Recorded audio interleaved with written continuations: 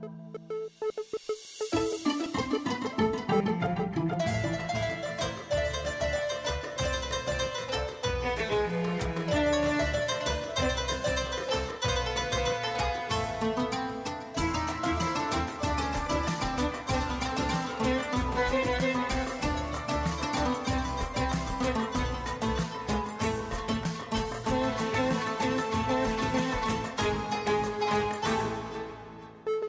الخير مشاهدينا سهرة عمر نحن وياكم بهالسهرة 17 رمضان السهرة 17 اللي عم نتشاركها نحن وياكم مباشرة عبر تلفزيون لبنان.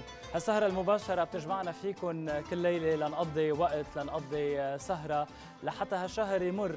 نكون هيك عم نحكي سوا نسولف سوا نكون عم نسهر نحن وياكم ويمر شهر رمضان الكريم مع نجوم. كل واحد بمجاله لحتى نحكي معهم نتعرف عليهم أكثر نكشف أوقات أشياء ما بنعرفها عنهم والأهم إنه نكون دائما عم نحمل زوادة بداخلنا نكون دائما عم نتطور عم نتقدم نكون بخلال هذا الشهر دائما عم نشتغل للأفضل. دائما نسعى إنه نكون إنسان أفضل. الليلة بالحلقة 17 وبالسهرة 17 سهرة عمر بيحكي حكايات. سهرة عمر بيحكي شخصيات. شخصيات شفناهم على المسرح بالتلفزيون بالسينما. ضحكنا معهم بكينا معهم تسلينا معهم انبسطنا معهم كل هالشخصيات في من وراهم شخص واحد كان عم بحرك الأمور كلها. لما نحكي عن كاتب لما نحكي عن مبدع لما نرجع لورا للعام 1977 لما نرجع لأيام عصر ذهبي لانتاجات هالقد طبعت بذاكرتنا نتذكر اسم واحد.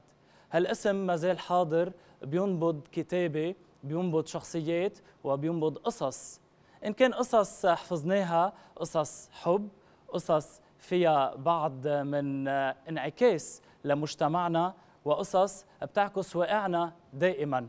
الإنتاج بعده مستمر لليوم. الوفرة هي بالكلام يلي دائما بحطه بشخصياته يلي بنتعلم منهم يلي بنحلم معهم بنسافر معهم بنضحك بنبكي وبنحلم كمان إنه نكون مثلهم إنه نكون على طريقتهم هن.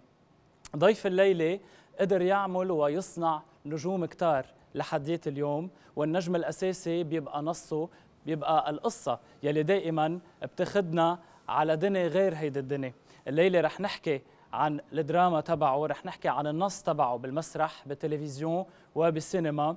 هو اسم أساسي من التلفزيون اللبناني واليوم بنحكي عنه ومعه أكثر ضيفي بالحلقة 17 سهرة 17 من سهرة عمر الكاتب مروان نجار. أستاذ مروان مساء الخير. رمضان كريم. وأهلا وسهلا فيك. شرفتنا. أهلين. تفضل. أهلا وسهلا فيك. شو التقديم الحلو. الله يخليك. هيدا أقل ما يقال بشخص هالقد حافظين شخصياته بشخص هالقد مأثرين بهالإرث الكتابة خليني أقول يلي تركوا بشخصيات هالقد طبعت قد نحن فخورين اليوم بوجودك معنا. شرفتنا. شكرا. هو الجو مؤثر هلا كثير لأنه ذكرت أنت سنة ال 77 وسنة ال 77 من هالمبنى هيدا بالذات من أعلى من هون بطابقين كانت البداية. صحيح. فأكيد أنا هلا بشيء من التأثر الحميم يعني الخاص بوجودي هون. يعني تقريبا بين ال 77 وال 2007 نحن اليوم 40 سنة. يعني هال 40 سنه مروا بإنتاجات بقصص بحكايات بشخصيات بنجوم ساهمت بصناعتهم بعدنا لليوم مأثرين فيهم وبحكايات كمان شخصيات بعدنا لليوم بنتذكرهم وشكرا لأنه نحن كنا طالبين القرب وأنت لبيت الدعوة لحتى تكون بسهرتنا الليلة. بعرف يعطيك ألف عافية ضمن انشغالاتك هالفترة لأنه بعرف قد في كم من الكتابة عم تشتغل عليه. بعرف كمان إنه سكت الورق لحتى كمان يحكي بكثير أمور. ولما حضرتك تسكت دائما الهدوء تبع حضرتك في كلام. لما قررت تعتزل الإنتاج وتبعت خليني أقول وتتفرغ بس للكتابة للقلم للشخصيات كان قرار شخصي. آه الابتعاد عن الإنتاج ومهالكه خليني أقول كلنا بنعرف المتاعب تبعه شو السبب الرئيسي اللي خليك آه، تتفرغ للكتابة وتبعد عن هالهم يلي حضرتك إذا بدنا نكون كثير آه، صادقين. أنا ولد ما كان يمرق براسي إنه يي بكرة بس أكبر بدي أصير منتج. ما مرقت براسي ابدا. أنا كان يمرق براسي بدي أكتب. هلأ جينا نكتب صرنا نلاحظ مع الوقت إنه أنت بتكتب شيء وبتحضر ما تبقى أو بتحضر شيء ثاني هيدا صار يجيبنا شوي شوي صوب الإنتاج تندافع عن اللي عم نكتبه. نعم. هلأ إذا بدك تاخذها من ناحية إيجابية فينا نقول اليوم صار في شركات إنتاج محترفة يعني عندها بنية تحتية بتسمح لها إنها تريحك من هالهم هذا الشيء ما كان موجود قبلها. آه، فما عاد في داعي إنك تتحجج بغياب المنتج المحترف حتى انت تحترف الشغلة دفاعا عن نصك. من ناحية ثانية آه، مش حلوة لنا يعني نحن ما كنا كثير مبسوطين فيها. أنا بد ما تكون علاقتي مع هالممثل أو هالمخرج إنه كيف بدنا نبدع هالمشهد تصير العلاقة وين بينزل اسمه وقد إيه بيقبض فلان وقد إيه بيقبض يعني مش لإلنا. هيدي في إلها ناسا فكان كتير أريح بالأخير إنه نحن نرجع للشيء الأساسي اللي بنحبه.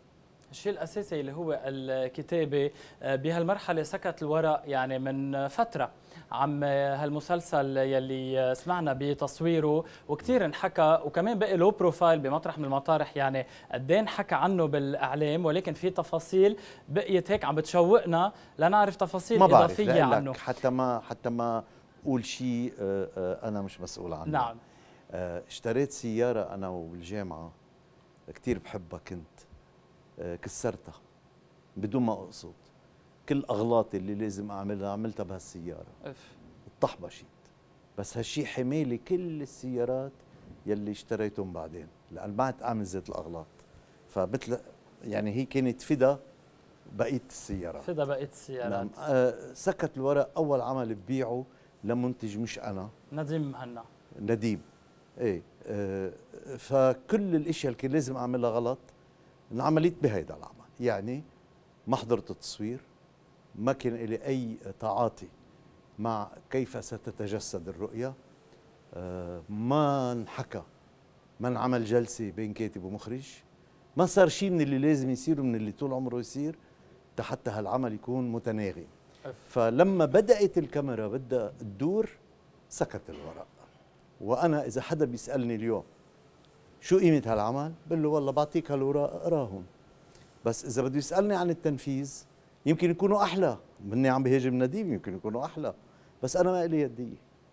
ما بعرف. بس ما عندك عندي علم فكرة. بالتفاصيل ما اللي صارت على عم بصلي إنه بكرة أقول خاي منيح اللي عملها هيك. مم. بس أنا ما بعرف. أنا بالمجال. في أسماء كثير مهمة مشاركة أنا ما يعني. بحياتي ما بحياتي حطيت الاسم قبل الفعل.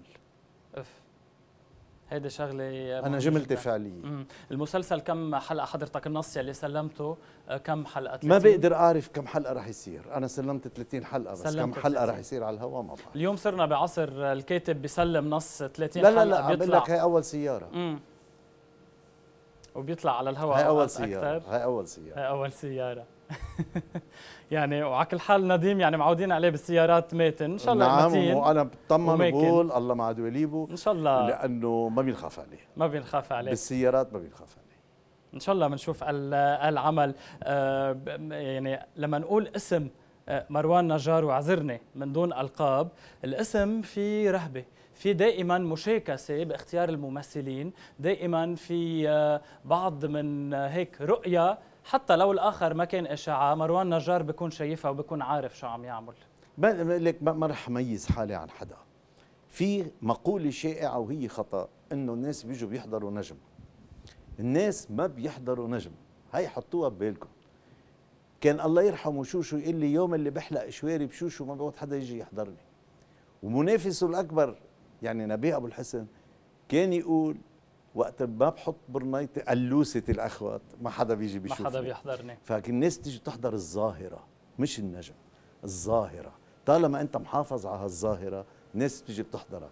ناس حضرت ظاهرة الرحباني قبل ما يصير في نجم مثلا آه، اسمها فيروز في الظاهرة اللي اسمها الرحباني كذلك في الظاهرة اللي اسمها زياد الرحباني يعني هيدول الظواهر اللي الناس بتركض تشوفها.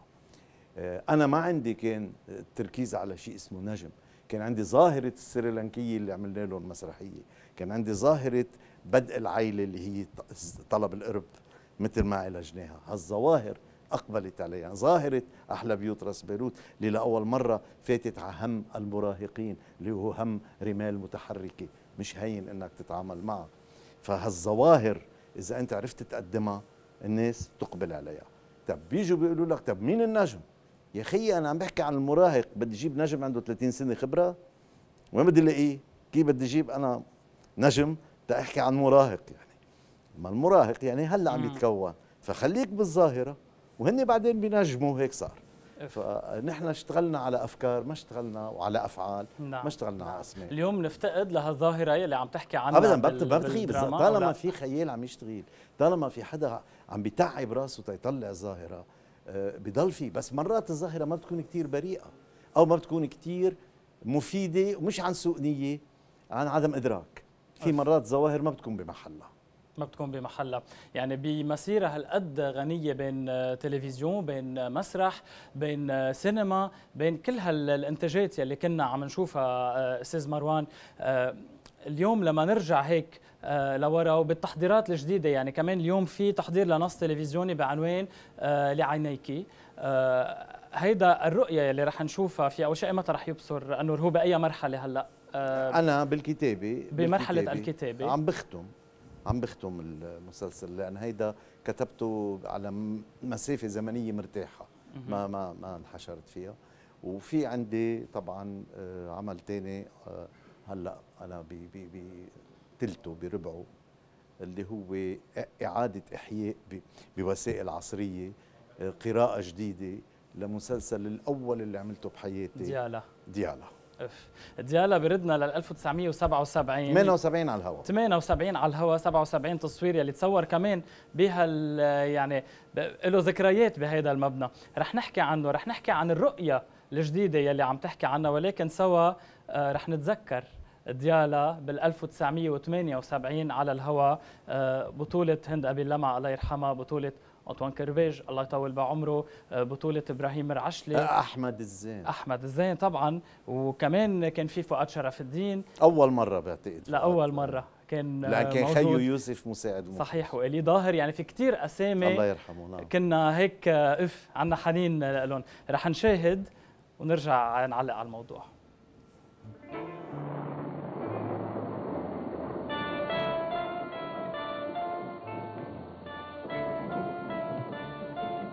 عاصفة الصيف لا تنسانا هذه السنة أيضا. ستكون ليلتهم قاسية. انظروا إليها كيف لا تخاف. هذا غضب السماء عليها وهي لا تخاف. لن يرحمنا الغضب هذه المرة. لن يرحم سقفا تحته مجرمة لعينة والشرقية لا تبالي. كيف تسكتون؟ كيف تتركونها معكم ولا تخافون؟ لماذا يتكلم عنه؟ لا تسمعي. رفض عزيز فرسار سنموت جميعا إذا بقيت بيننا. اصبحوا الشرقية ماذا تريدين أن تقولي؟ هل أنا مختلفة عنكم؟ يداي لم تتلوثا بالدم. وأنا؟ اسكتي وإلا طردتك خارجا. أسامة أرجوك لا تتدخل. ربما كانوا على حق. وليد أسامة يجب أن يتدخل. يجب أن يتدخل. سحرته الملعونة. واسكت أنت أيضا يا عجوز. أسامة ماذا حدث؟ ديالا طردوها. من؟ الجميع. اتهموها بالقتل فطردوها. هذه الليلة تحت المطر والعواصف. حاولت منعهم فرفضوا. كيف تجرعوا؟ قالوا إنها قاتلة أطفال. خير ماذا هناك؟ رشيد؟ ماذا تعرف عن الشائعات التي يطلقونها حول ديار ديال الغادر؟ مجرد شائعات تافهة يا سيدي. مثلا. مثلا يقولون إنها قتلت زوجها. ديالا 1978 على الهواء مثل ما ذكرت حضرتك.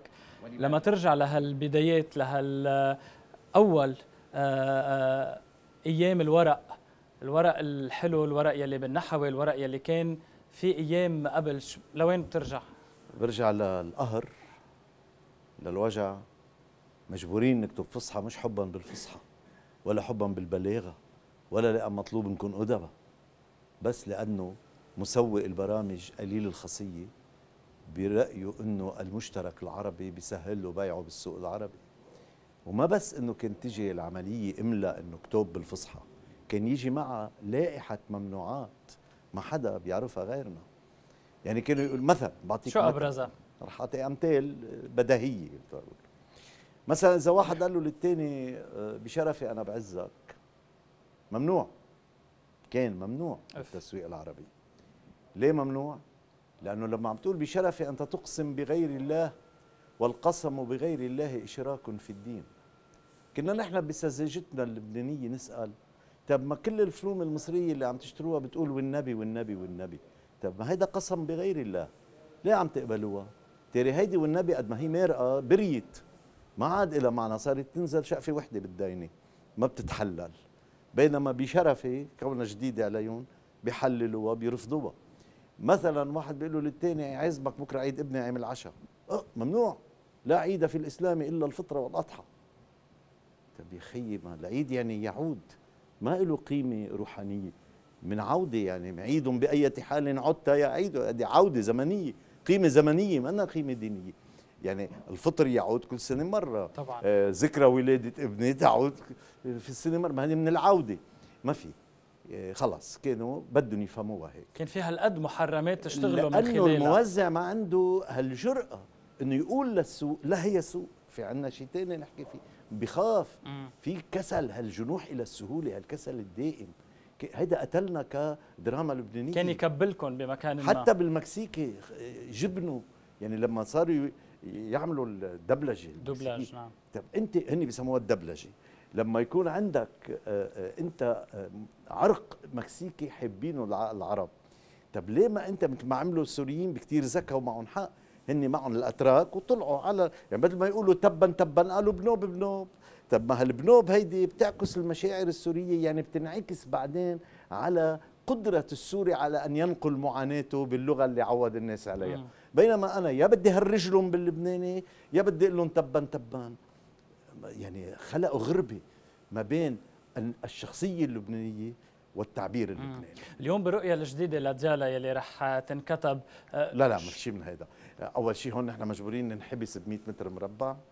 مجبورين نحكي فصحى مجبورين نصور الحلقة بيوم ما هيدا ما بدنا. نحكي كيف بلاها. بدك كيف بدك تفش خلقك لا اليوم لا لا اليوم اليوم معي منتج معي؟ منتج متفائل وكثير عنده طموح من وراء العمل اللي هو وراء هالقصة مروان حداد هو اللي طلب إنه نرجع نعيش ديالا وبوقتها كان هو الصديق والمحامي والرفيق يعني ما كان ما كان بعد بال بال بالمجال بس هيدي داخلة بأحلامه من وقتها فانا بتوقع إنه لا هيدي رح تنعمل بكتير محبة بكتير خبرة مكتسبة والأهم الأهم بالنسبة لإلي تحية لأنطوان ريمي لهند أبي اللمع للناس اللي بفضلهم انوجد مروان نجار على التلفزيون. أف. هل هل خليني أقول عارفين بالجميل ما للاستاذ إلي أنطوان بالجميل ما إلي بالجميل أف. معروفة القصة. مم. وما بس مش إنه عملنا ديالا وبلشنا. آه، في مدة طويلة أنطوان وهند حملوا لواء كاتب اسمه مروان. يعني حملوه مشوا بالأردن بالخليج يعني آه، كان عندهم ثقة وكانوا على قد رهانهم.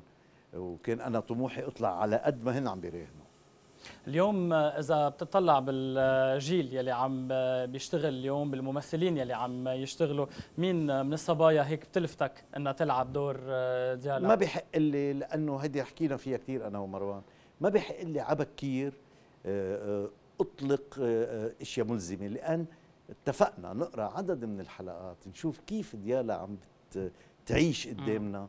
قبل ما نعمل أي جهد من هالنوع. وشفت إعادة أحياء 10 عبيد صغار كمان يلي كان عرابها المنتج مروان لا في حداد. فرق كبير فرق كتير كبير بين اللي عم نعمله وبين قصة أول شيء عشر عبيد صغار نتج عن شيء ما فينا ننكره. يعني مثلا أنا عملت ديالا وهلأ أنا عم بشتغل لإحياء قراءة معاصرة لديالا. بينما عشر عبيد صغار يلي عملوه ما كان لهم أي دخل. مم. يعني إن كان لطيفة ملتقى والله يطول بعمرها أو المخرج الحبيب الكبير جان فياض هيدول جماعة يعني من اللي ما بيتكرروا وعملوا عمل رائع اجى حدا بعدين استعاد هذا العمل ولكن بغربة تامة عن أصحابه. نعم. فطبعا أنا بعتبرها هيدي قراءة مختلفة 100% ل آه، آه، هلأ بيقدر حدا يجادلك يقول لك هيدا بالأساس لاغاتا كريستي. مم. آه، إيه بس لا نحن لازم نعترف إنه إن كان المغنى إن كان التسمية كثير أشياء هي تعود إلى الجهد الأساسي اللي انعمل بلبنان. نعم. أستاذ مروان رح نتابع نحن وياك. حضرتك يلي بتقول إنه تلفزيون هو وسيلة أساسية للترفيه العائلي واليوم تحول لكباريه رح نحكي لا بهذا لا مش الموضوع؟ اليوم مش اليوم. مش بهيدي الفترة. هلا هلا بس يعني هلا هلا بنحكي بالتفاصيل على كل حال لحتى نشوف اليوم التلفزيون بنظرتك أنت بالرؤية تبع حضرتك اليوم التلفزيون وين؟ اليوم الدراما كمان وين؟ رح نحكي كمان حضرتك خارج السباق الرمضاني هالسنة كمان رح هيك نشوف إذا آه، عم بتتابع إذا عم بتتابع شو عم بتتابع وشو نظرتك أنت للأمور للاقتباس لكل الأشياء يلي ممكن تكون عم بتشوه أو عم بتضيف للدراما اللبنانية. بدي أذكر كمان المشاهدين إذا بتسمح لي إنه مثل كل ليلة مشاهدينا في عنا سؤال عن نجم الحلقة عن ضيفنا آه، بنتشاركه معكم حتى تحذروا الاحتمالات. والسؤال الليلة بأي عام ترك آه، الكاتب مروان نجار الإنتاج واتجه للكتابة فقط بالعام 2006 2011 أو 2015 أنتم عليكم تحذروا. الجواب سهل إذا متابعين الإنتاجات ومتابعين أكيد رح تعرفوا. وبنهاية الحلقة شخص واحد رح يربح ليرة ذهب. أنتم بعتوا SMS سين عين أو S O على ال 10 13 مثل كل ليلة. قد ما بعتوا أكثر قد ما بين اسمكم عند الرجال اتصلوا فيكم. وبختام الحلقة الكمبيوتر بيسحب اسم واحد من نصيبه ليره ذهب أستاذ آه، شرفتنا بهالحلقة. متابعين نحن وياك. رح نحكي أخبار رح ننتقل لفقرات تانية كمان. اسمح لنا نفوت لفاصل إعلاني أول بحلقتنا لليلة. وبنرجع بنتابع مشاهدينا حلقتنا مع نجم هالحلقة الكاتب مروان نجار.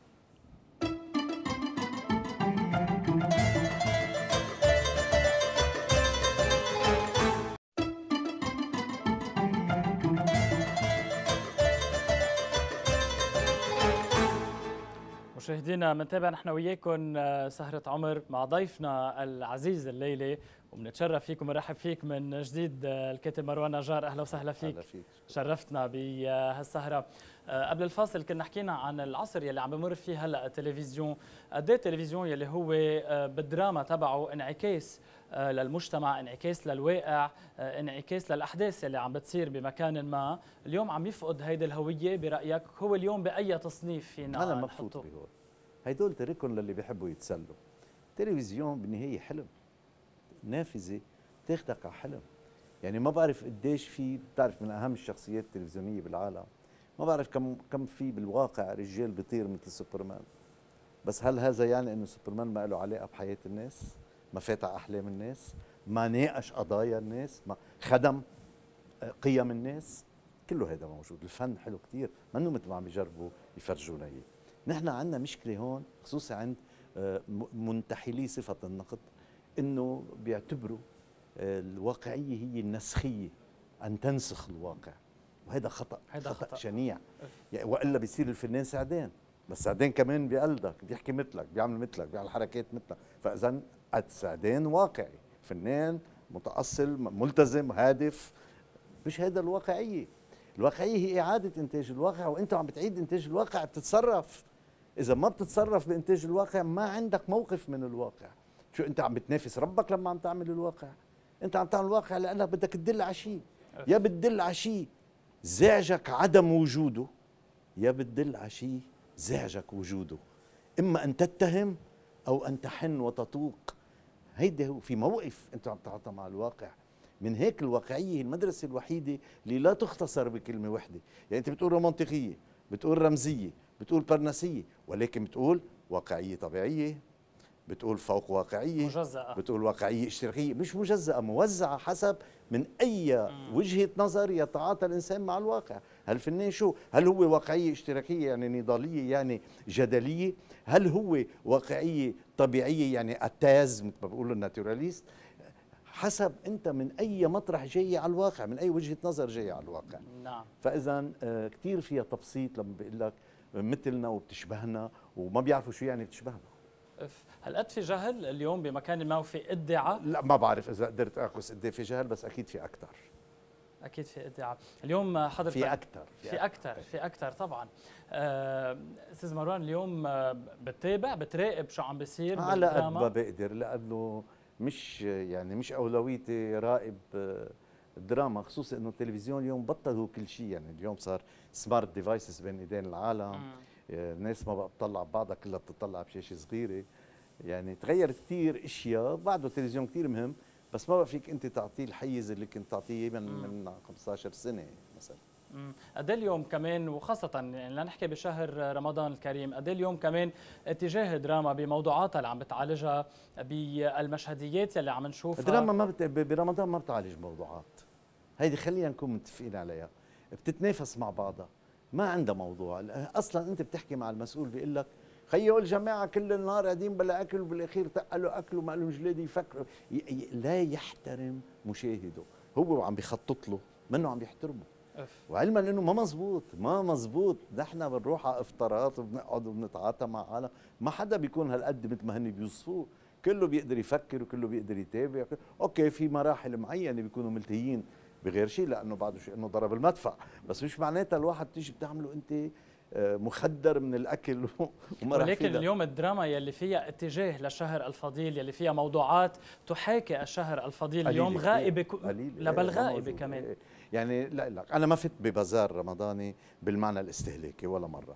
يعني أنا بخبرتي كلها بهالسنين عملت أعمال رمضانية بس ما كنت ابدا بهيدا البازار. أنا أول عمل فعلا رمضاني بقدر إدعي شرف آه، توقيعه كان اسمه تجارة عن تراض يلي كان نظرة إنسان غير مسلم إلى الشرع الإسلامي وإمكانية أن يطبق بطريقة معاصرة لكل الناس في كل المجتمعات. من خلال التجارة، التجارة عن تراض مأخوذة طبعا من آية قرآنية. طبعا.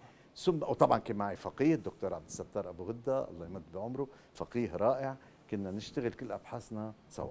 بعدين ثاني عمل عملته كان اسمه مواسم خير يلي بيعرف من خلال قصة حب هذا اللي بين فيه بديع أبو شقرة وباسم مغنية. وأحلى شباب بيعرف بالبنك الإسلامي من خلال قصة حب وكان بعتقد من التحديات الحلوة ثم عملنا حصاد المواسم حصاد المواسم عبد المجيد مجذوب وكمان باسم مغنيه واللي كان من خلاله بدنا آه، نقول لل- للناس ما توفروا توبتكم لآخر كهولتكم حتى توافوا ربكم تربحوه جميلة بموازين ما لحقتوا تقلوها إلا على آخر. فلتكن لكم في عمركم منذ البداية حصاد ومواسم. فليكن مواسم كثيره عم عم ناخذ حصادها معنا. يعني بمعنى تاني التوبة مش برطيل بالأخير من بعد ما نكون شبعنا آه، آه، مع- معاصي فطبعا رمضان بيحكي هيك قصص. رمضان بي- بيحب يفتش على القيم. ونحن بالنسبة لنا الدين منه مزايده والدين منه واحد ينكي الثاني أو ياخذ ماركة لإله مقابل ماركة الثاني. الدين أنا رايح لعند الله وأنت رايح لعند الله. حاجة تشارعني شو ماركة السيارة. اليوم آه، بمشهدياتنا وبمسلسلاتنا يلي عم تحكيه حضرتك بكل آه، تنزه وبكل رقي مش موجود مفقود كليا. يعني اليوم نشوف قصص من رمضان نوع أفرغ آخر. أفرغ من هذا. أصلا مش من جديد. اليوم الحق عمين على الكتاب يلي لا عم لا لا الحق على لا, لا لا الحق على السوق. على السوق يعني لما نقول السوق الاستهلاكي؟ الكونسيومرزم الموقف الاستهلاكي اللي عم بيعم العالم. في. موقف استهلاكي اليوم عم بيعم اليوم صار كل شيء له مبرر. كل شيء له مبرر لأنه الربح هو الهدف الأول والربح السهل مش الربح المقرون بما يبرره. لأن نحن بنعتبر الربح الحلال طبعا هو المبرر بفائدة يجنيها المجتمع. نعم. بس لا اليوم ال- بتربح من شو ما كان. يعني صار في كتير بضاعة بتشبه المخدرات بتأثيرها. بس ما ممنوعة وما ولا يعاقب بالعكس يكافئ عليها يلي بي بي بيوزعها. فهيدا شو بدنا نعمل يعني؟ الاستهلاك هيك بيصير. اليوم آه، كمان آه، السرقة خليني أقول بين هلالين آه، هيدا الاقتباس يلي لا لا please اوعى نربط كلام ببعضه. السرقة منا اقتباس لا والاقتباس لا منه لا, سرقة. لا. سرقه بمعنى إنه عم ناخذ في كلمة اللي ما بنستعملها؟ لا طبعا بس قصدي ناخذ وما نعرف إنه هيدا الانتحال الانتحال. الانتحال. هيدا منه اقتباس. آه لنكون أكثر دقيقين باردون في شيء اسمه ادابتيشن اقتباس. في شيء اسمه بلاجرزم يعني انتحال. انتحال. فنحن بدنا نكون دقيقين. الاقتباس هو فعل تواضع أن تتخذ قبسا من نور وتشكر صاحبه. هيدا هو الاقتباس. جاي من القبس اللي هو كلمة كتير إيجابية. أما الانتحال فأن تدعي أنك الآخر وتنكر وجوده فهيدا الانتحال هو شائع كتير ببلادنا من زمان وبالشيء. اليوم عم عم نشهد كثير بهذا الواقع يعني اليوم بمشاهداتنا بال بالدراما تبعنا في في نوع من قصص وريليت لها بنطلع بنقول آه قارينا بكتاب شايفينها بمكان ما. اليوم قديش هالانتحال يلي عم نحطه كمان عم بقلل من قيمة المشاهد يعني عم نستغبى المشاهد بمكان ما برأيك؟ في في برأيي مش قصة استغباء لأنه هو كمان ساعدنا المشاهد بقلة مطالاته ولكن إلا لما بندق له بالفلوم اللي بيعرفها يعني. آه في شغلة ثانية اللي عم بتصير هي مش قصة من وين أخذنا. يعني زميلنا ويليام آه، بتعرفوا لويليام؟ من بيت شكسبير. طبعا. إيه. مين ما بيعرف؟ إيه. زميلنا ويليام عمل 40 مسرحية دالة على اصولها يعني كل مسرحية بيقول لك من وين أخذها؟ ما, ما بيستحي ها؟ أخذ من تاريخ بلوتارك أخذ من حتى مثلا Romeo and Juliet اللي أخذها من قصيده لارثر بروك اسمها The Tragical History of Romeo and Juliet يعني حتى الاسم. وب بالطريقة اللي تعامل فيها شكسبير بهالمسرحية بعد حوالي العقدين عقدين ونص يعني كان شاب صغير شكسبير وقت اللي طلعت هاي القصيدة. ولكن اليوم أرثر بروك نحن ما بنعرفه. لا يهمني من أين أخذ ويليام شكسبير روميو and جولييت يهمني إلى أين أخذها أخذها إلى الخلود. فلما أنت مقتبس عم تأخذ العمل وتعطيه من من قبس المؤلف حقه وعم تعطيه من الله يرحم خليل حاوي من فرنك الداخلي. أنت عندك فرن داخلي. يصهر الماده التي تأخذها. من وين ما أخذتها؟ تصهر الماده وتولدها. فبيكون إبداعك موجود. من وين ما إجت الماده الأولية؟ إن إجت من آآ آه، آآ آه، الأرض الميتة مثل ما كان يقول الجاحظ آه، على قارعة الطريق. أو إذا كان أخذتها من ذكرياتك. أو إذا أخذتها من ثقافتك. من وين ما أخذتها؟ على أي فرن فوتها؟ قديش دابت مزبوط وقديش بعدين؟ ولدت من جديد. قدرت تطلعها. اليوم آه، في حدا بيلفتك على ساحة جديد يكتب بتقول هيدا نواة شخص قادر يكون عنده شيء يقوله؟ ما بظن في حدا عم يكتب اليوم آه، خصوصي باللي هلأ هلأ عم ببينه جديد ما عنده الحرقة اللي بتصنع منه شيء حلو. ما عندي أي شك أنا من اللي كثير بحب آه، اتحمس للي في اسم نافر أكثر بس ببقى خايف مش على برجع بقول لك ما بيهمني الاسم بيهمني الفعل.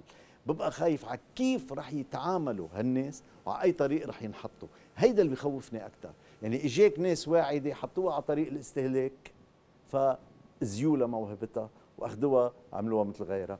هيدا اللي بخوفني. الموهبة أكيد ما حدا بيمسك قلم وبيكتب وبيخلص عمل إذا ما عنده جواته هالوجع هاللوتة هالخوتنة. إذا ما عنده إياها ما بيقدر.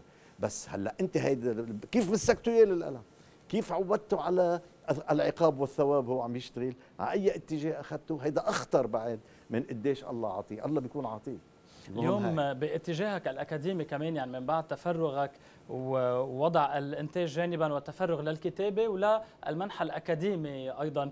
اليوم الكاتب المثالي أو الكاتب خليني أقول يلي بده يقدم عمل جيد اليوم للدراما اللبنانيه يلي غائبة عربيا. عم نحكي دراما لبنانية صرف مش إنتاجات مشتركة. ورح أعرف رأيك بالإنتاجات المشتركة كمان يلي عم بتصير. اليوم شو لازم هيك؟ شو النقاط اللي بتحمله إياها للكاتب اللبناني؟ تتقول له تعال لهون عمول نص جيد وقادر تطلع فيه عربيا. هيدي المقومات تبعه شو هي؟ آه الاستعارة أو الناحية الإبداعية. سمته العبقرية لا تعلم. ما حدا بيقدر يعلم حدا يكون مبدع. ولكن الوصية بتكون أو النصيحة على مستوى التقنيات مش على مستوى الخيال والإحساس. هول من عند الله. بس أنت بتشارعهم مثلا. يا عم اقروا لكم شي كتاب نظري. تعرفوا على سيد فيلد. ما بيضركم ما بيعمل كوليسترول كويس. تعرفوا على كذا كاتب. اليوم في سبعة ثمان مدارس موجودة اليوم بهوليوود. صحيح. آه، عم بحكي عن ال serious مش عم بحكي عن في بيطلع مليون واحد بيكتب لك how to how to how to شو بدك فيهم؟ هدول للبيع. بس في عالم كثير رصينة وفي مراجع كثير مهمة موجودة بيسوى الواحد يقول بدي مثلا بعطي مثل صغير. لما كان اوجين سكريب يعمل مسرحياته اللي تطوش العالم بديناميكية التركيبة تبعها كان فيكتوريان ساردو عم يتكون ككاتب. شو يعمل؟ يجيب مسرحية لسكريب من فصلين يقرأ أول فصل ما يقرأ الثاني. يكتب هو الفصل الثاني يرجع يقارنه باللي عامله سكريب تيصلح التكنيك تبعه. تينقح تيتعلم تقنيات. فنحن مش عم نقول تعالوا نقلد العالم بس تعالوا نقوي حالنا نقوي خيالنا بهال vehicle بهالعربية اللي بدنا نحط عليها أفكارنا تتوصل على الهدف. اليوم آه، مروان نجار ممكن يشتغل عمل درامي مشترك عربي يعني يكون في بطلة لبنانية بطل سوري آه، قرابتهم مصري. هيدي الخلطة تجوز مع آه، مروان نجار؟ بطريقه بطريقة السكوتش تيب ما بيشتغلها. يعني ما بجيب ورقة الزيق وبلزقهم على بعضهم. إنما نعم أنا عملت مسلسل ما تصور لسوء الحظ بسبب الأوضاع الأمنية. عملت مسلسل قصة حب بين شاب سعودي وبنت لبنانية. ولكن ما كان بيقدر الشاب يكون إلا سعودي وما كان فيها تكون البنت إلا لبنانية لأنه الجو عم بيصير إنه كل الشباب السعوديين اللي بيجوا لعنا بيعتقدوا بناتنا لغرض معين وكل شبيبتنا وبناتنا هون بيعتقدوا الشاب السعودي ما بده إلا شيء معين. فلا هيدا محترم هيدي ولا هيدي محترمة هيدا لأنه ما في شاب سعودي بيو بقى الدم لعلمه وهو عنده طموح إنه ينجح. وبيحترم هالبنت اللي بده يتزوجها. ما في بنت لبنانية إذا شافت هيك شاب سعودي بتحبه بلا ما تفكر إذا عنده بترول ولا لا. هالكسر هالأحكام المسبقة اللي نحن بنخبطها على بعضنا يدعو إلى أن تقوم الأمة العربية بالتعارف من جديد من خلال شحنات عاطفية تحملها الدراما. يعني هالفلسفه بالكلام وبالرؤية اللي عندك إياها قد إيه بنفتقدها اليوم بالكتاب يلي عم بيكونوا هالقد كوميرشال يلي بنشوف لاسم معين وما رح سمي وما رح نفوت بالتسميات احتراما لرغبتك كمان بهذا الموضوع.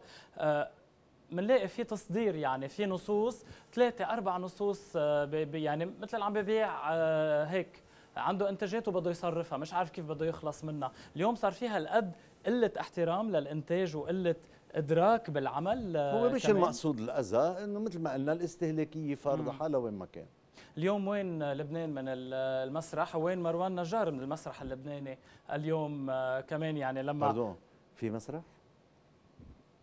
شو بتحب نحضر الليلة؟ وين في؟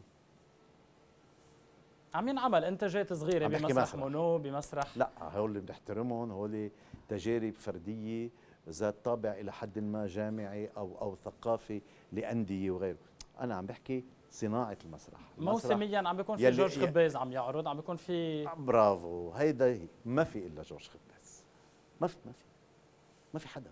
هلأ إذا أنت قادر تبون على مجموعة معينة بتملك عدة مدارس تجر التلاميذ بالقوة وتعمل لهم مسرحيه بتقدر بس ما بتشكل فائدة عامة وظاهرة صناعية بتشكل مجموعة قدرت تمون تجيب هيدا جمهور مقبوض عليه ماديا ومقبوض عليه فعليا. هيدا ما ما بيكون اسمه ديناميكية مسرح. نعم. ديناميكية المسرح بدها الأهالي تقرر اليوم وين بدي أروح شو بدي أحضر فلان شو عامل اشتقنا لأعماله. هيك أسئلة ما بقى في وهيك كانوا يشتاقوا لأعمالك كانوا يتابعوا لا لكثير عالم. أنا لكثير عالم.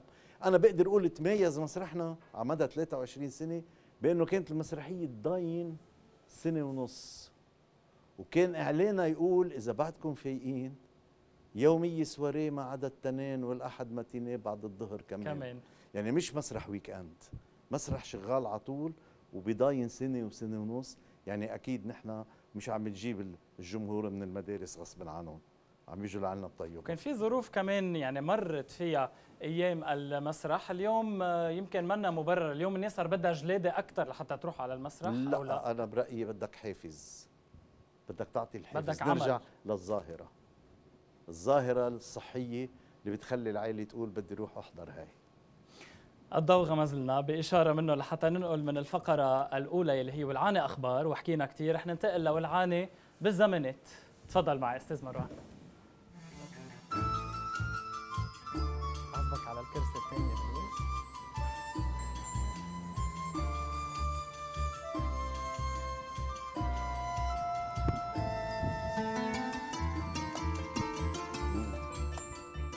هيدي هيدي قاعدة تأهبية. هيدي قعدة تأهبية فيها هيك رجعة لورا فيها ساعات فيها وقت.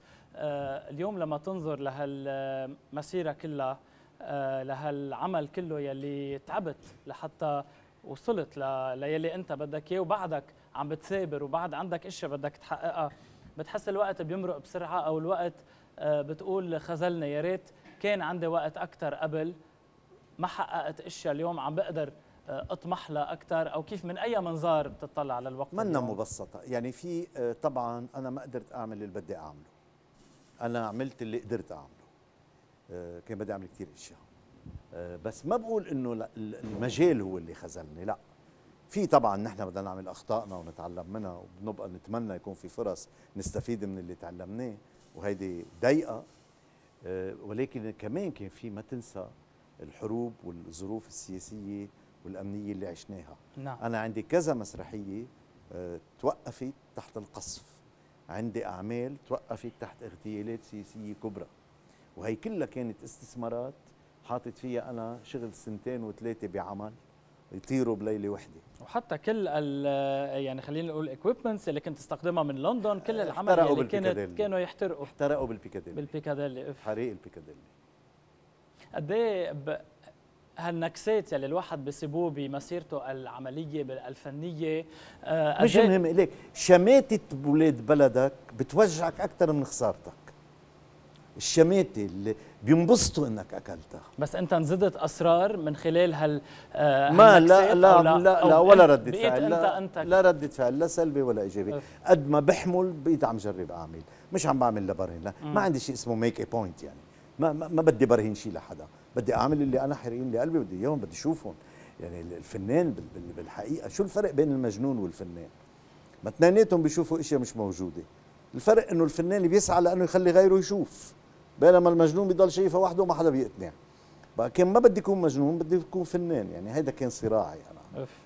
بين ديالا اول مسلسل بين أول فيلم سينمائي مشوار وبين لعب الفار آه كمان أول مسرحية. هل آه أول دايما في ناس هن اللي حركوا دايما. يعني لعب الفار حركها شخص أرمني اسمه كريكور ساتاميان يحو هلأ بباسادينا بأمريكا. آه مثل ما قلنا ديالا حركوها بيت ريمي هندا باللمع وانطوان ريمي. أما مشوار, مشوار. فحركها شخص اسمه سمير حبشي. مخرج سمير مخرج حبشة. سمير حبشي. فكل مرة في حدا هو السبب لأنا فوت على حقل معين لأنه العمل جماعي. ما فيك يعني مش مثل قصيدة عم تألفها أنت وقاعد على على الورقة. بدك يكون في عناصر عم تلتقي عم تكتمل عم تحلم سوا. هدول انوجدوا آه، للتلفزيون ثم كملنا للمسرح ثم كملنا وللسينما ولكن آه، الأحداث الأمنية ما خلتنا نكمل. صحيح. وين أول مرة هيك حسيت إنه عملت عمل؟ قلت هيدا كان نجاح كسر الدنيا مثل ما بيقولوا. يعني هلأ ما أنا اللي بدي أقول الأرقام بتقول الأرقام. وال والذاكرة عند الناس. أي متى لمست؟ يعني هيك أكثر أول مسرحية شاهدها عدد من الناس لإلي هي عريسين مدري من وين. عريسين مدري من لأن تجاوزت ال 240 ألف مشاهد. وعم نحكي بال 87 88 فالرقم اللي عملته خيالي وطبعا ال- الإمباكت اللي عملته عميق. ولكن كمان ما ننسى إنه جوز الجوز آه، عملت ظاهرة بحد ذاتها. وأنا إذا بدنا نحكي فنيا العمل اللي بيحترق قلبي إنه ما يشوفوه كل الناس لأن كان بيحمل كثير إشياء ويا ريت بينعاد اللي هو كبسة زر. ممكن تعمل إعادة أحياء لمسرحك من خلال عمل ينشغل ويكون عم يتقدم أو, أو أنا لا؟ اليوم ما بقدر آه، أتعامل مع شباك التذاكر. تركت الانتاج. كليا هذا قرار ما بقدر. هلأ إذا التقى صيغة إنتاجية بقدر اكون فيها أنا الكاتب آه، آه، طبعا أنا مرحب لأن هي مهنتي بس أنا مروان نجار اليوم حدا يجي يقول لي بدي أمضي معك contrat وبدي ما بدي. ذكرت بأول اللقاء إنه لما كنت قبل بعمر أصغر ما كان عندك رؤية لا تكون منتج ولا تكون أي شيء ثاني كان بدك تكتب. أي متى؟ أول مرة. يعني مروان الصغير لمس إنه هو عنده حب عنده ميل وقع على كتاب قريه بفترتها. لا، ما صار هيك. أو لا؟ لا ما صار ما صار. هالموضوع؟ لا. أنا بلشت أحلم بالمسرح. ما بعرف كيف شفته أصلا. وين في مسرح؟ بعرف إنه من أنا ولد بدي أعمل نصر بدي أوقف متر طلوع. عندي موجودة براسي. بدي أوقف أعلى من, من عملي يوقف وينشيف عدتي مع وليك ضوي علي أه وقول لهم شيء بدي أقول لهم شيء أه معروفة قصتي مع الله يرحمها أمي اسرق لها حبل الغسيل و وحطها وتنشر الشراشف عليه واعمل والشراشف، بردية وجيب أصحابي ونا... يعني من أنا ولد عندي إياهم هون بس من وين إجوا؟ ما بعرف. وكان دائما عندك شيء آه، تقوله. العمل لما تكون عم تشتغله بيكون في عندك شيء واحد تقوله أو بتفرع. شو بدك تقول أنا بطريقة أنا معينة؟ conceptual. بأي طريقة بتشتغل؟ conceptual يعني أنا بلحق concept يعني ما ما- ماني حكواتي بدي اخبر قصة. آه، بنطلق من مفهوم وهذا المفهوم يرتدي قصة. يعني مشان هيك دائما حتى بيتذكر هذا المبنى.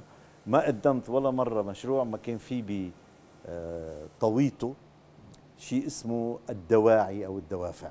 يعني راسيونال. كل عمل بعمله في له راسيونال. هل هالثقافه يلي اكتسبتها يلي نميتها مين الأشخاص يلي كانوا هيك يلفتوك إنك تتابع معهم؟ أشخاص كانوا ملهمين لك إنك هيك يكونوا حافز لحتى تكون عم تتثقف عم تتطور عم أنا محظوظ أنا محظوظ. مين الأشخاص اللي كانوا محاطين فيك؟ عم بقول لك أنا محظوظ. لما بتفوت على مدرسة اسمها ال IC واللي هي معمل رجال مش بس بتعلم. لما بتفوت على الجامعة الأمريكية بوقت ما هي عم تحتفل بعيدها المئوي بيطلع أستاذ الفلسفة اللي عم بيعلمك اسمه شارل مالك بيطلع أستاذ النقد المنهج اللي عم بيعلمك اسمه مثلا خليل حاوي أو إحسان عباس. بيطلع عم بيزور الجامعة وقادر تقعد تناقش أنت وياه المستشرق الكبير جاك بيرك أنا محظوظ ما بقدر أنكر قديش الجامعة الأمريكية وال IC قديش هال campus هيدا غنجني. ومن أنا ولد عاطيني مسرح ال West Hall بعمل فيه شو ما بدي. يعني عندي مسرح بكل تجهيزاته وأنا تلميذ هالمؤسسة وابن هال campus ومن أنا بال... عم بتعلم تلاميذ ال IC بيجوا شو شيء اللي دور من وقتها شو عندك دور لإلي؟ يعني مش هلأ لحتى صارت. من أنا وبعدني عم بتعلم. ففي كتير ذكريات مع المسرح مع الخشبة. كنت انزل على بلد آه، عند عيسى النحاس جيب ال- المكياج جيب الله يرحمه سمير مستلزمات فوزي التصوير، سمير نعم. فوزي الله يرحمه. درويش بين للشباب آه، كلود إبراهيم وفادي إبراهيم. انزل لعنده بعدني ولد يجي على ال West Hall يعملنا بعدنا شيء إنه بنحلق يعملنا المكياج ونمثل. يعني كلها هي تقدمت لنا. يعني أنا بقدر أقول أولتي كانت جدا واعدة مشان هيك بعض خيبات الأمل اللي إجت مع الحرب كانت جدا مؤلمة. رح نحكي عن المرحلة اللي رح نحكي عن النجاحات كمان رح نحكي عن مرحلة هالقد آه، اسم مروان نجار قدر يعمل كمان صناعة آه، أسماء وحد وحتى ناس يعني قدروا يستفيدوا من هال conceptualism يلي عم تحكي فيه وقدروا كمان يبقوا نجوم لحديت اليوم. يعني عم نحكي عن يورغو شلهوب عن باسم مغنية عم نحكي عن فيفيان أنطونيوس عن أسماء هالقد كان لمروان نجار فضل عليهم بال career تبعهم لحتى يكونوا هن اليوم كمان أكيد هن عندهم الموهبة. ما فينا ننكر هذا الموضوع ولكن كانت سلة كاملة متكاملة. رح نحكي بهذا الموضوع. اسمح لنا نفوت على فاصل ثاني بحلقتنا. مشاهدينا بذكركم ضلكم تبعتوا SMS سين عين أو S O على العشرة 13 حتى بختام الحلقة ليره ذهب تكون من نصيب حدا منكم. break صغير ومنتابع مع ضيفنا بهالحلقة أستاذ مروان نجار.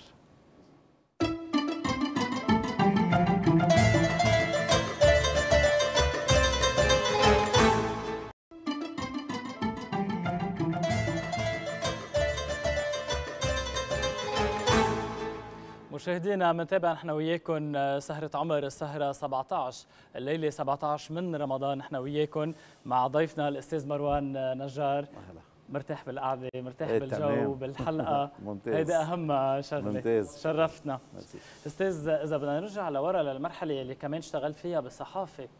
قد إيه الألم آه، الصحافي أو الاتجاه ال- الإعلامي من هيدي الناحية كان في تحدي بفترتها وليه هيك رجعت ابتعدت آه، عنه يعني اليوم آه، ال- هالعالم يلي تفرغت فيه للكتابة للقصص للخيال للحلم يلي عم تحكي عنه شو بغير عن هي هيداك هي العالم؟ مش كلها بترجع لقرارك يعني أنا لما فت على الصحافة فت على أساس أنا بكتب موضوعات ثقافية مهم. تربوية ثقافية بمجلة الأسبوع العربي ثم صار في خلاف ما بين العاملين في الأسبوع العربي وفي طليعتهم آه، ثلاث أشخاص بارزين. يعني الله يرحمه حنا غصن الصحافي الاستقلالي القديم وياسر هواري اللي كان رئيس التحرير وبريزيدون أنطوان شويري اللي كان المدير العام. فتركوا أبو عضل تركوا الأسبوع العربي وأسسوا مجلة. وكنت أنا من اللي اختاروهم وما اختاروا إلا شخصين تينقلوا معهم من الأسبوع العربي على المجلة الجديدة الديار كان اسمها الديار غير الجريدة. نعم. فلان كان الامتياز بيملكه حنا غصن. فلقيت حالي عم بيكبر دوري بالصحافة بدون ما أنا آخذ قرار. يعني لأنه عم نأسس. ثم اجت حرب السنتين. ما مجيء حرب السنتين مين بعد بده اياك تكتب ثقافة؟ صرت غصبا عنك تلاقي حالك عم تتورط بال- بالسياسة وباللي عم يصير. فكبر دوري الصحافة بدون ما أنا آخذ قرار. إيه. هيك صارت إلى أن برجع بقول تعرفت على بيت رامي وظهرت من بؤرة الحرب كيف. كان كيف كان اللقاء بتتذكر كيف آه تعرفت طبعا عليهم بأي هي؟ شوي معروفة القصة لأنه أنا كنت بال... بهيدي الأثناء صرت بالحمراء بمجلة الدستور وكنت تعرف المنطقة هون بحرب السنتين صارت مس... مسلوخة عن بعضها بس كونك أنت جاي من بيئة لبيئة يعني بتعرف الناس اللي جاي من عندهم وبتعرف الناس اللي جيت لعنده فصرنا نحن دورنا أكثر شيء نراجع بمخطوفين. لأن أنت جاي من هون وبتعرف هو قاعد مع هون. انخطف واحد من هون عند هوليك أنت بتعرف تحكي مع هوليك وهوليك انخطف لهم حدا بيطلبوا منك تحكي معهم فقضيناها هيك فتعرفت على بيت ريمي أنا وعم راجع بمخطوفه بيقرب بيقربهم آه، فكان الموضوع أمني ما كان ابدا فني. بلش أمني ابدا ما وتحول. كان فني. آه، جربت أخدمهم وأنا وعم جرب صار يصير حكي قدامي. وحكيت هن شو عبالها تعمل قط شو بدك كتبت وهيك وبلشت صارت عليها. وهيك صارت الأمور. هيك صار. آه لما الواحد يرجع بالوقت لورا بيتذكر نجاحات بيتذكر آه خيبات أمل. كان في خيبات أيمتى هيك أول مرة حسيت إنه وخاصة ب- بالوسط الفني يعني أيمتى أصبت بخيبة أمل من الوسط الفني؟ قلت أنا إنه معقول عم بحط جهد بهالمكان؟ يمكن أنا عشت. كثير كثير بعيد عن الوسط الفني. لا سهرت سهراتهم لا ظهرت ظهراتهم لا قعدت بقهاويهم لا فت بمناسباتهم ما بعرفهم ومش تكبرا لأني أنا بحب كثير أقرأ. يعني ما ما بنبسط بحسه قصاص هيدا هيدا اللي هن بيرقصوا له أنا هيدا لإلي قصاص عم بيروح الوقت. فهلا في البعض اعتبروها مني استفزازية. بس أنا مش عاملها ضد حدا. أنا عاملها انسجاما مع أنا شو بد شو بقدر أعمل شو بحب أعمل. شو توجهك إيه. شو خيارك؟ يعني أنا اليوم في عندي هيدي حتى بتذكر بالحرب كان بعض الجيران ببعض المناطق اللي نلجأ لها بالحرب يشوفوني إنه هن قاعدين عم يلعبوا ورق بالملجأ. أنا نعم. حاطط الطاولة بالقرنه عم بقرأ أو عم بكتب. يقولوا شو هالمتكبر هيدا ما بيلعب ورق معنا؟ يعني يخمنوها موقف منهم. هي منا موقف منهم. طيب خيي القصف ماشي. وهي بالفعل؟ راحتك عم تعملها. أنا بعمل الشيء اللي بقدر أعمله لما ما عندي شغل. يا بدي أقرأ يا بدي أكتب. ما شو بدي أعمل؟ اليوم بعدك على تواصل مع النجوم يلي هيك آه، ساهمت بصناعتهم لا، لا، بمكان لا، لا، ما قليل كتير. في قليل قليل كثير ما في شو ساعة صناعتهم. هن شاطرين. وطلع إنه أقول لك شغلة. يمكن نفعت ناس ك ك آه، شو بيقولوا side effect أعراض جانبية. بس هن نفعوا شغلي مثلوا لي صح. أنا يعني اشتغلوا صح. أنا بربح لهم جميل. يعني لو ما يعمل طب واللي نزعوا لي شو بعمل؟ ما أنا كتبت إشياء كمان انتزعت بالاداء يلي نزعوا. ليه هيدا بدي سبه وهداك ما بدي أشكره؟ يعني لا هي العملية. هن إجوا خدموا لي عملية. هن عم يخدموا لي عملية بنيوا تاريخهم. فكان عملي ذريعة لأنه هن يبنوا تاريخهم. فهيدا شيء حلو هذا شيء تفاعلي. منه شيء واحد عطى الثاني بده يربحه جميل. حسيت بالمسرح آه، هالنجاح يلي حققته بالمسرح وإن كان على تلفزيون تحديدا يعني بين عالم المسرح وعالم التلفزيون وين حسيت مروان نجار إذا أنت هيك بدك ترجع قلتها- لذاتك قلتها أنت قلتها مروان شو؟ يعني مروان شو؟ مسرح خشبي إف ما نجار إيه. لو كهربجي لو كهربجي بنروح باتجاه التلفزيون. منيحة هي آه، أستاذ مروان يعني ال- الحديث لما نكون عم نحكي هيك بوقت وغمز لنا الضوء آه، كمان. الوقت بمر بسرعة مثل ما عم نقول. رح نتابع حديثنا ولكن رح ننتقل للفقرة الثالثة. من ولعانه بالزمانات؟ رح نروح لولعانه أسرار. تفضل. أسرار. وين عزبك هون تفضل.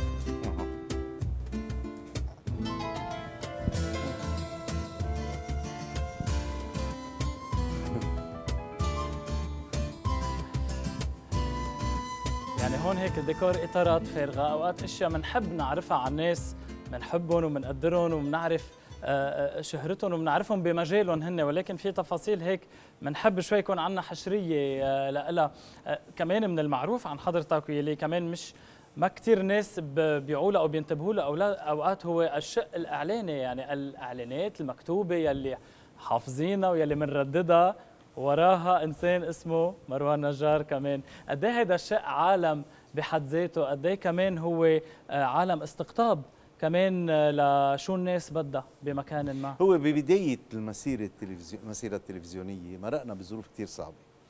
آه، حتى كانت الكرامة تندقر مرات من وراء الوضع الأمني وال وبعض العراقيل اللي تطلع نعم. على الطريق. فكان خي رمزي له دور كثير كبير. بإنه يقنعني يقنعني روح باتجاه الإعلانات. باتجاه الإعلانات. ورحت وقريت كثير و... كان عندك رفض بالأول؟ إيه إيه يعني إنه أنا بدي أكتب تيبيعه يعني كنت إيه، جاي من ما من خلفية أدبية آه، بتحكي غير شيء. بعدين لما صرت أقرأ بالمراجع شو عظمة هالصناعة شو عظمة الكتابة الاستراتيجية وقد إيه بتأثر على ديناميكية الكتابة. الواحد بده يشوف الأشياء مش بس من وراء الأحكام المسبقة اللي بيعمموها. بدك تفوت جوات الصنعة. آه، اكتشفت إنه من أهم المدارس بالعالم مدرسة الإعلان. لأنه الإعلان هو الهيومن بيهيفير هو التصرف البشري. تتعرف عليه بالعمق. هلأ في إعلانات اليوم أنت بتطلع بتلاقي في إعلانات بتبيع حالها. أنا هلأ بشوف إعلانات على التلفزيون بيبيعوا حالهم. يعني الناس بينبسطوا يشوفوه. بس ما حدا بيروح بيشتري الصنف اللي عم يحكوا عنه. أف. إعلان بيع حاله. بس ما ببيع ما ببيع شيء. اللي عم ما عمل شيء. عم بيسوقه وبس في إعلان ما بتلاقيه بيلفت النظر بس بتركض أنت حتى تشتري هالصنف. هلا ما بدي أحكي كثير تما تقولوا عم تعمل لهم إعلان. بس في أو أو عم تعمل إعلان مضاد. بس في أصناف كثيره ما انخدمت ولكن إعلانها مشهور. وفي أصناف انخدمت يا بيكون الاعلان كثير مشهور يا لا بيتغلغل عند الناس. بيتغلغل عند تعلمنا كثير منهم هيدول. اليوم لما نحكي عن مروان نجار الباحث المؤرخ كاتب هلا مثلا هي الباحث إذا عم تقول هون. كوني اشتغلت مدة طويلة مع شخص اسمه فريد شهاب يلي هو من آه، الأسماء يمكن في طليعة الأسماء الخلاقة بالإعلان بلبنان والشرق اللي هن Leo Burnett اللي هو بس تقول اتش ان سي عم بتقول حمصي وشهاب فشهاب هو 50% من اتش ان سي فاشتغلت معه من من 35 سنة. آه وبذات الوقت عندي إعجاب كبير بشخص اسمه مصطفى أسعد اللي هو Public Graphics آه هلأ Front Page بس هو بالأساس Public Graphics فهول الناس كثير بحترمهم.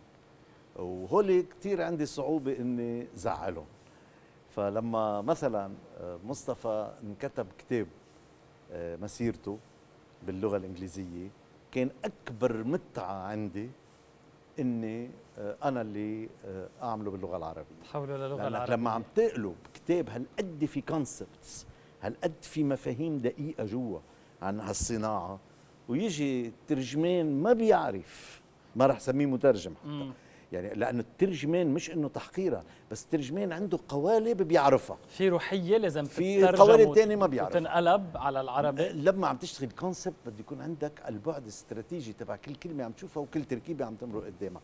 ما بتقدر تعمل الكونسبت شكليا الترجمة أو ترجمة معجميا.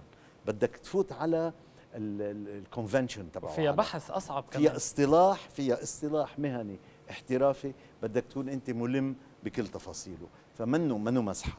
فبشوف حالي أنا بإنه آه، قصة آه، تجربة مصطفى أسعد اللي اسمها بالإنجليزي Play It Again مثل Play It Again Sam انوجدت نسختها العربية بتوقيعي بعنوان هاتها بعد هاتها بعد. إيه بلاي ات اجين إذا بدنا نحكي عن آه، كتاب خاص فيك.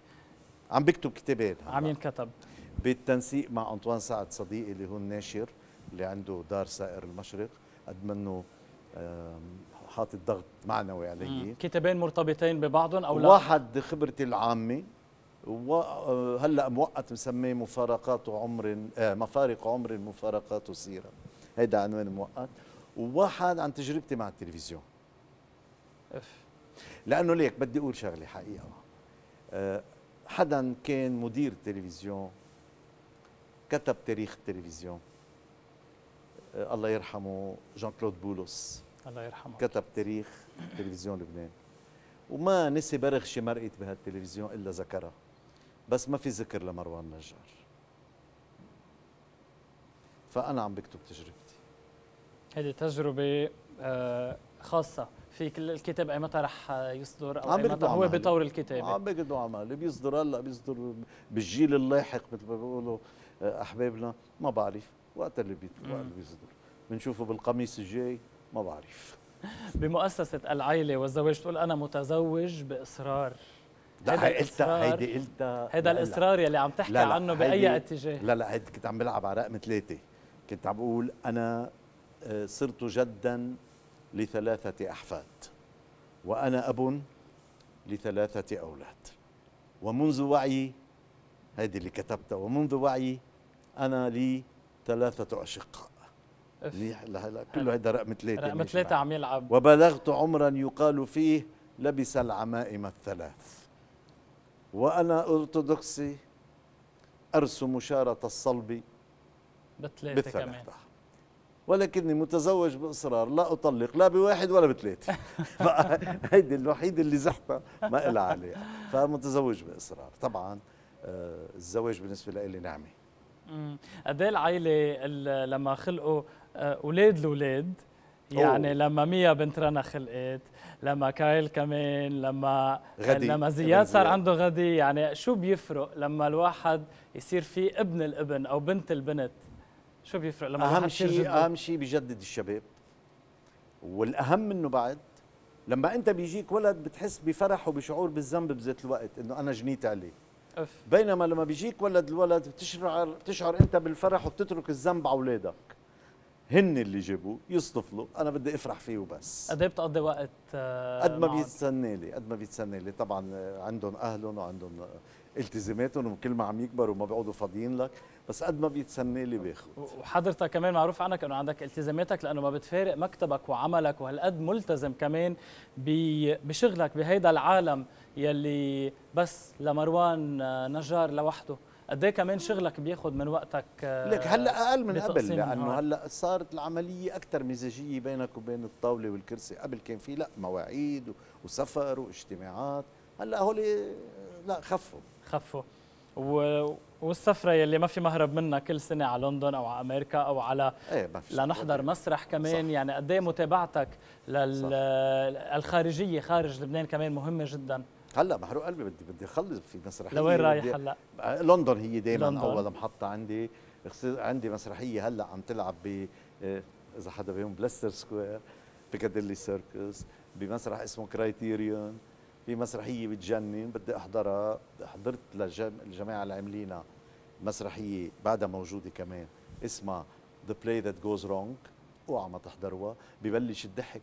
قبل ما يشيلوا الستارة قبل ما تبلش المسرحية بنص أف. ساعة ببلش الضحك. والعمل اللي رايح إيه، تحضره وهيدا لذات الناس بذات الأسلوب اسمه The Comedy of a Bank Robbery Comedy of a Bank Robbery. يبدو انها عم تعمل ذات النتيجة. بقى هيدي جبت الكتاب عندي الكتاب بس بدي أروح أحضرها. حجزت أو بعد؟ لا لا ما أنا بروح هونيك دغري بظبطها. ماشي. لما تكون لوحدك مش couple بضل تلاقي كرسي فلتاني ما حتى بال Phantom of the Opera حتى بضلك تلاقي كلهم-. كل لما منك مش couple بضل تلاقي بضل هينه الخبرية قد إيه ال- السفر قد إيه العمل خارج لبنان يلي بنحضره يلي بنشاهده بيغني بيثري أوف. قد إيه بضيف قد إيه. بتحس نحن وين وهن وين مش هيك ونحن مش قصة بصير في مش حسرة قصة مش قصة حسرة لا لا قصة بتتعلم أنت من ردة فعل هيدا الجمهور العريق بالتعاطي مع المسرح تتعلم ترجلج علاقتك مع المسرح. يعني لما أنا بدي أروح أحضر مسرحية وبقرأ إنه هيدي آخر ليلة وبتلفن على المسرح وبقول لهم بدي أحضرها. أنا قاريها كانت بتذكر لديفيد جاريت كثير بحب أحضرها. أه قلت لهم هي آخر ليلة فبدي أحجز. رح أعطيك ال credit card number تبعي. قال لي لا لا في مطارح كثير ما بتعوز تعا قبل بربع ساعة وبتلاقي, وبتلاقي مطرح. محلك. أوكي طمني الزلمة. رحت أنا قبل بربع ساعة. لقيت العالم هيك على الجيشي وعلى ال prepaid ما في حدا.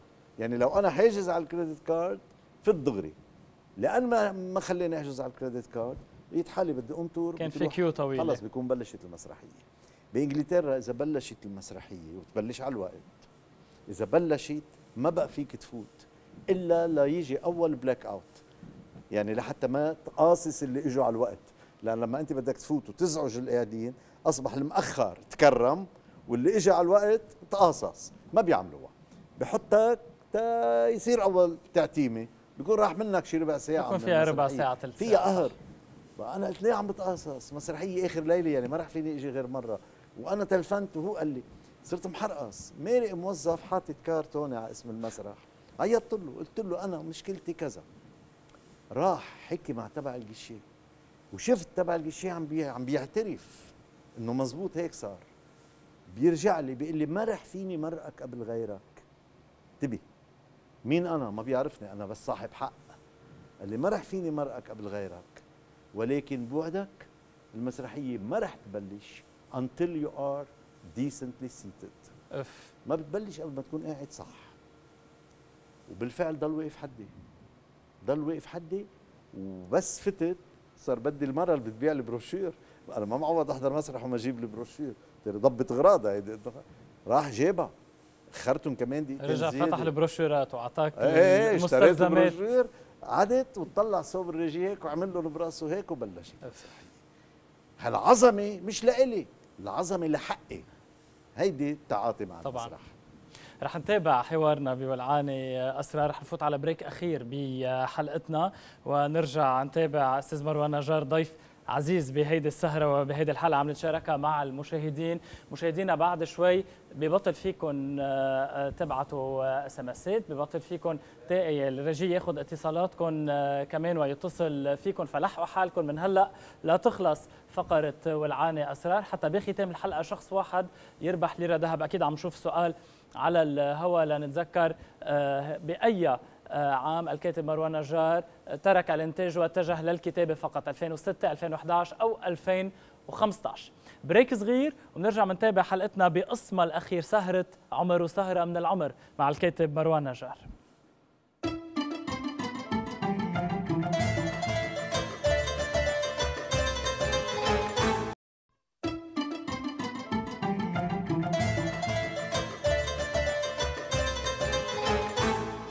مشاهدينا متابعين سهرة عمر نحن وياكم مع نجمنا بهالحلقة أستاذ مروان نجار من جديد بنرحب فيك بالقسم الأخير آه، بحلقتنا. آه، لما نحكي عن أسرار في أسرار بالمهنة أوقات أو بتركيبة الشخصيات. اليوم قد إيه في اتجاه لأنه البطل آه، يكسر القيم ويكون عندنا اتجاه للبطل الشرير مش البطل المنيح. قد إيه هالمعادله اليوم عم تخرق أشياء منا معودين عليها؟ بكترة بكترة هي من الأساس مش بس بالفن. بالتربية بكل شيء حتى صار الزعبير مهضوم. يعني كل شيء هيك صاير خصوصي ببلادنا وبالسينما ال- ال- الأجنبية الامريكان من زمان وبيجي من يوم ما بلشوا يفرجوك إنه الكاوبوي اللي مغتصب أرض الأمريكان الأصليين إنه حرام الضحية والبطل والفظيع. وهيداك المجرم هيداك اللي بيعمل آه هيداك مجرم. ما هيداك صاحب الأرض. وبنستغرب قال ليه ما بيتفاعلوا وليه ما بيتعاطفوا مع الفلسطينية وليه بيتفهموا الصهيوني. ما ما هيك صايرة المجرم مهضوم هلأ صايرة كبراني كتير إذا بتطلع ب House of Cards مين البطل؟ البطل اللي عم بيقتل اللي عم بيقتل، الدنيا. كلها وراكد ورا طموحه، إذا بتطلع ب Breaking Bad، إذا بتطلع ب على ال Breaking بتطلع ب Prison Break، إذا بتطلع ب Narcos، بتطلع بكل شيء كل الموجات اللي ماشية وصولا للي لفت لي ابن زياد لفت لي نظري وشفت بعيني آه، يلي بعتقد هي مصدر إلهام للهيبة يلي هو ال Animal Kingdom. يعني هالولد بدل المرة هي ولد الولد يلي بيطلع إنه سته هي زعيمة العصابة وإنه خواله هول كله شيء إجرام وكذا وبده ينخرط تيقدر يعيش مع عائلته ف بتلاحظ إنه هدول هن الأبطال هدول هن اللي لازم نعطي لهمهم اللي ال finalité تبعهم بتشغلنا بالنا صار في يعني كسر للقيم على كل هيدي خلص يعني الموضوع. الناس المحدودة مثل أرسطو وأفلاطون اللي ما بيفهموا واللي ربطوا الحق والخير والجمال برسالة هذا العمل. هدول خلص هدول obsolete هدول ولك من بعدهم. هلأ بدك تكون cool وإنه نكون cool آه، اليوم آه، بهذا العصر يعني إنه نكسر آه، القيم وعم كل شيء. mediocre هلأ صار cool أف. وكل شيء مزبوط. هلأ بينما الجراح إذا نت في غلطة إيده بدنا نحبسه. بينما الطيار جايز زر واحد كبس غلط توقع الطياره بس نحن مجالنا فينا نستوطي حيطه يعني عبالي نكمل بالحديث وعبالي نحكي ونستفيد غمز. أكثر غمز لنا الضوء والوقت عم يمرق بسرعة يعني مضطرين ننتقل للفقرة يلا. الأخيرة مع إنه الحديث مع حضرتك متعه وثقافه. بحد ذاته اضافه على كل حال. تفضل معي الفقرة الأخيرة والعاني مع الصحافة.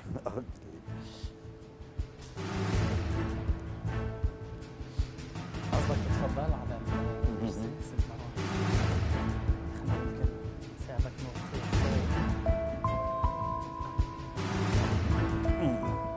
هذا كتاب الذهب سجل الذهب هذا السجل تترك لنا كلمة عليه بالختام.